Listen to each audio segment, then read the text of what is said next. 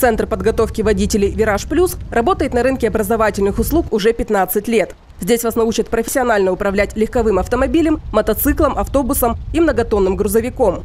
Автошкола одной из первых в городе переоборудовала свой автодром к сдаче экзаменов на все категории транспортных средств по новым требованиям, которые вступили в силу с 1 сентября. С 1 сентября вступила в силу новая методика приема государственного экзамена ГИБДД. Тем самым можно э, констатировать, что подошла к концу реформа автошкол. На сегодняшний день э, уже на нашем автодроме сдают первые курсанты и сдают успешно. Э, вместо трех элементов на автодроме появилось обязательных пять элементов при сдаче госэкзамена. Конечно, стало все намного сложнее, но все зависит от качества подготовки.